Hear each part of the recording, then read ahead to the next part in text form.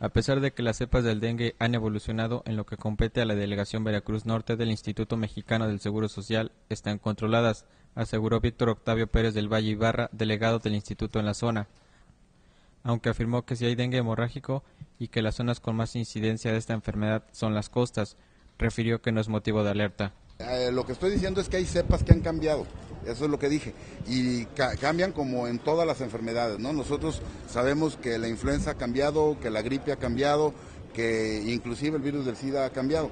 Entonces, eh, ¿por qué cambia?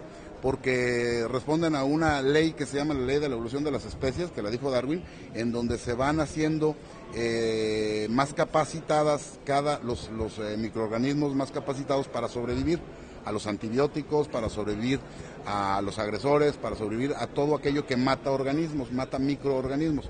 Entonces, en ese sentido, eh, es algo perfectamente bien definido, perfectamente bien eh, controlado y hasta ahorita no se ha salido de, eso, de control.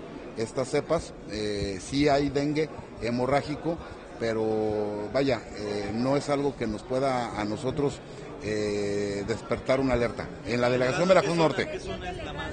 Eh, eh, de la zona Veracruz Norte, la zona con más eh, problemas es sin duda la zona de la costa. ¿sí? son las comunidades donde la gente le falta mayor educación en salud y eso es lo que nosotros estamos tratando de hacer.